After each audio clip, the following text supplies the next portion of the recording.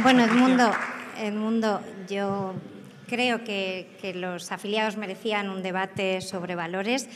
Y voy a decirte una cosa, Edmundo. Para mí, el valor más importante que tiene un político es la palabra.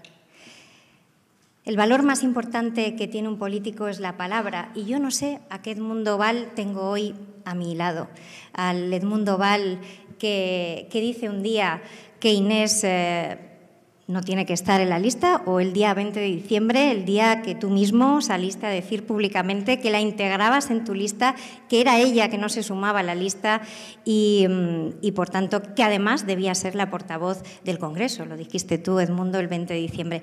Hoy me pregunto qué Edmundo Val tenemos aquí, el que, el que dice que, mm, que, no tenemos que estar eh, en Madrid, que hay que escuchar a los territorios, o el que dice que Adrián Vázquez y yo no podemos liderar este partido porque no estamos en Madrid.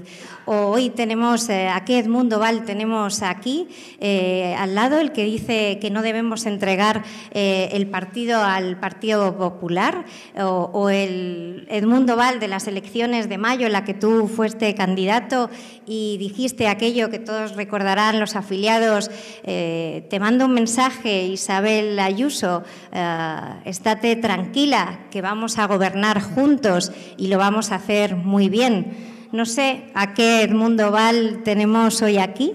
Eh, si aquel que dice que quiere re, mm, eh, recuperar la valentía y los valores del 2006 o aquel que se achanta porque le llamen eh, rufián, le llame fachar, no sé, pero digo que la palabra es el valor más importante que tiene un político y tú has demostrado no tenerla.